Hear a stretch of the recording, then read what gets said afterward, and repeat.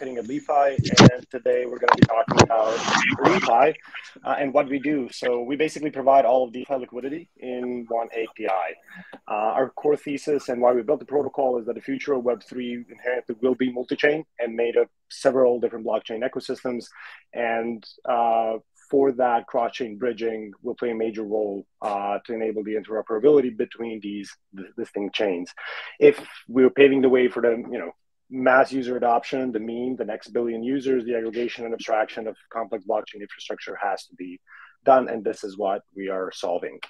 So we were founded in 2021. Uh, so far, we've finished our Series A with more than 23 million in funding. Uh, current team size is about 45 people and we support about 20 blockchains, and we're growing pretty fast. Uh, we have about 500 UK, 500k unique users, more than a million uh, transactions, more than one and a half billion in transaction volume, and a notable uh, figure is that 90% of MetaMask's uh, cross-chain token swaps or, or bridge feature uh, basically goes through uh, through us.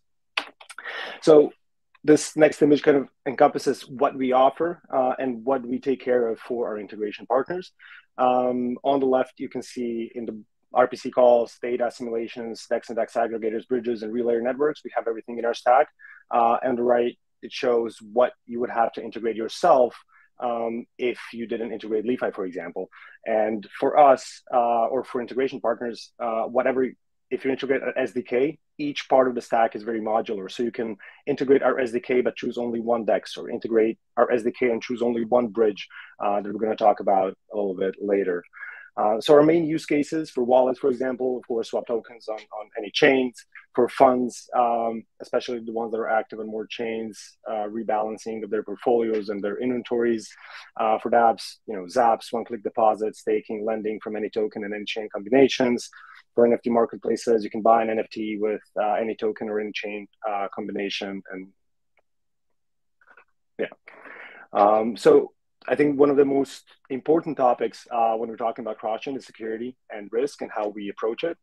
Uh, so first, our mitigation strategies. Uh, we first of all offer multiple fallback options uh, because we have currently 17 bridges and 30 dexes. So if one gets hacked, you or your users will always have a fallback option.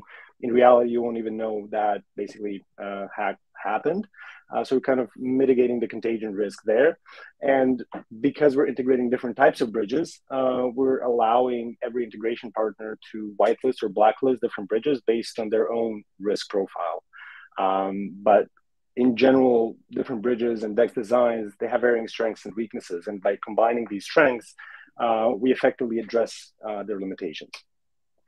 On top of that, we have a very comprehensive due diligence. Uh, we've built a cross-chain risk framework with consensus, and there's four distinct categories that we're looking at uh, when we're thinking of integrating a bridge. First is the bridge architecture risk, uh, which is basically you know validation mechanisms, collusion risk, censorship resistance, permissionlessness, um, stuff like that. Then we have the bridge implementation risk, where we're looking at uh, what measures are taken to reduce risks, uh, how does the team uncover extent risk like formal verica- verification, testing, audits, bug bounties, etc. Uh, then we're looking at bridge operational risk, which uh, is looking at how are private keys stored? Uh, what's the vulnerability resp- response plan? Um, which actors have the ability to pause operations in a bridge, uh, etc. And then the lastly, team background, backing, track record, uh, who invested in them, um, how communicative are they, and, and stuff like that, which kind of gets into our framework and positions the bridge somewhere on the trust spectrum uh, for us to decide if we're going to integrate. Um, Guys, we have uh, 45 seconds left. Awesome. Uh, on top of that, we're fully non-custodial. Uh, we're audited by QuantStamp, Spearbit, and Code4rena. We usually do an audit every three to four months, depending on the amount of deployments uh, we're doing. Uh, and on top of that, we have insurance uh, available on, on, on all transactions uh, that we partner with Insurace to build. Um, and in conclusion, we're the most secure DeFi plugin in crypto. our superpowers, we're playing with the interoperability through Lemma, allows us to be extensible and generalize, generalizable. Not that trustless, but you can choose a trustless bridge to even hit on that uh, that topic. So that would be who we are. Open for questions. Whoa! Time perfect. Nailed yeah, it. That was amazing. Thank you so much. Uh, you also received some kudos uh, from Sky Vision Capital. Uh, they think you're a cool team and have a very important product. So uh, he's wondering. Thank you. Our pleasure. And from the help of Sky Vision, can you, you explain more about the concept of fund rebalancing? Yeah. So um, basically, you, let's say you have like a advanced cross-chain strategy you're doing uh, in yield, right? Um, basically, what front-end protocols are doing on with Vaults for users.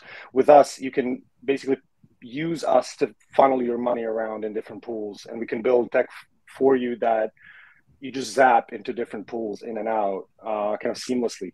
Uh, with not a lot of human interaction uh, with regards to it, uh, or you need to, you know, send somewhere money fast, you can do it on a different wallet, for example. So any type of like rebalancing that you would have as a fund, you can build it on our stack.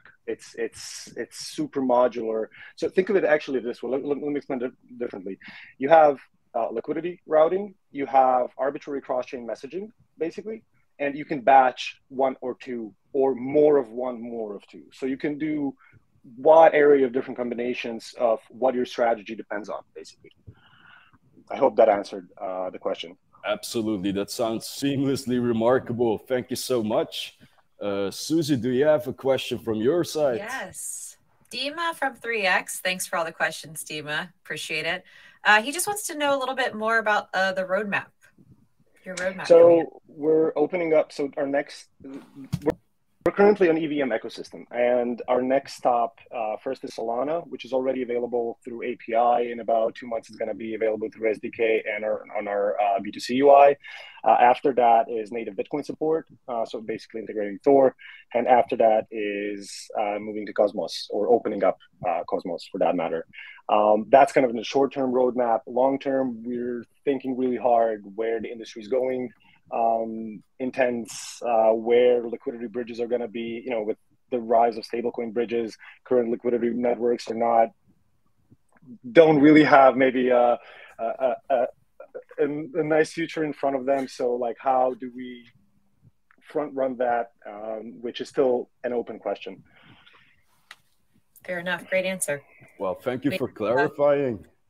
We have a couple minutes one, left. So. Yeah, we have one question. Let's try to answer that quick. It's from Mindfulness Capital. Yeah. What is the key differentiators comparing to other DeFi aggregators such as Aave, Uniswap X?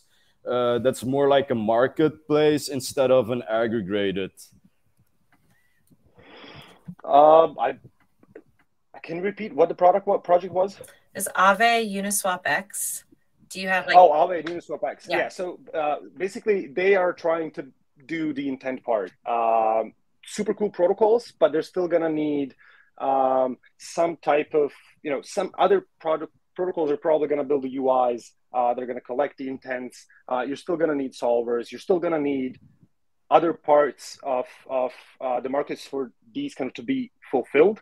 Um, so we're looking at where do we position ourselves within that but great protocols. Nothing to nothing to uh, say against them. Loud and clear. Well, Marco, thank you so much for your remarkable showcase. We're moving on to the next one. Uh, wish you a great day. Thank you. Likewise.